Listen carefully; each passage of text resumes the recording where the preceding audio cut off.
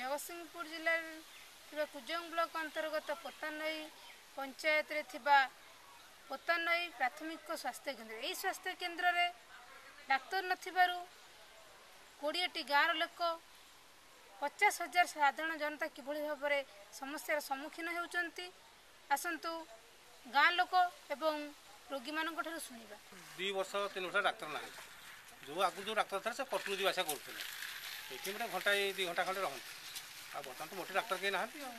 ଆଉ ଜଣେ ଅଛି ସୁଇପର ସେ ବି ଆଟେଣ୍ଡ କାମ କରୁଛି ତାକୁ ଡେପୁଟେସନରେ ପଠାଉଛନ୍ତି କୁଜଙ୍ଗ ଯାଉଛି ପିଏସ୍ ନାଇଁ, ଏଠି ଡକ୍ଟର ନଥିବାରୁ ଏମିତି ଆପଣଙ୍କ ଗାଁର କୌଣସି ଲୋକ ସମସ୍ୟାର ସମ୍ମୁଖୀନ ହେଇଛନ୍ତି? ହଁ ବହୁତ ଲୋକ ହେଇଛନ୍ତି ଯାହା ଝାଡ଼ା ବାନ୍ତି ଅମକ ସମସ୍ତ ହେଉଛନ୍ତି ସେମାନେ ସବୁ ମଣିଜଙ୍ଗା ଯାଉଛନ୍ତି ଏରସମା ଯାଉଛନ୍ତି ଏମିତି ସବୁ ଯାଉଛନ୍ତି। ହଁ ଏଇଠୁ ମଣିଜଙ୍ଗା ଆଉ ଏରସମା କେତେ କିଲୋମିଟର ରହୁଛି?